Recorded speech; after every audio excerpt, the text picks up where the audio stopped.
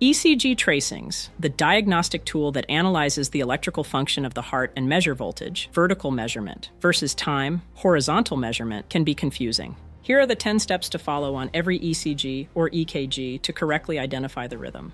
1. Assess rhythm regularity. Carefully examine QRS complexes on a 6 second strip to determine whether the rhythm is regular or irregular, providing insights into potential cardiac abnormalities. 2. Calculate heart rate. Count QRS complexes in a 6 second strip and multiply by 10 to ascertain heart rate. 3. Locate P waves.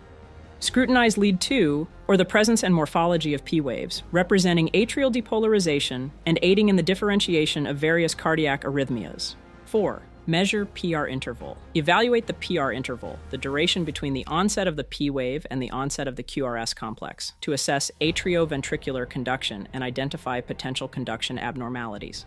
5. Measure QRS duration. Assess the duration and morphology of the QRS complex, reflecting ventricular depolarization and providing valuable information about the integrity of the cardiac conduction system. 6. Observe T waves. Note the morphology and relationship of T waves to QRS complexes, reflecting ventricular repolarization and aiding in the identification of ischemic abnormalities. 7. Identify ectopic beats. Recognize premature atrial, junctional, or ventricular contractions, which may disrupt the normal cardiac rhythm.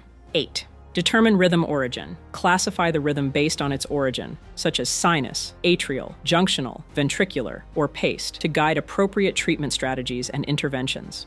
9. Identify rhythm. Correlate the findings of the ECG interpretation with patient symptoms and clinical context to accurately identify the specific cardiac rhythm and guide further diagnostic and therapeutic interventions.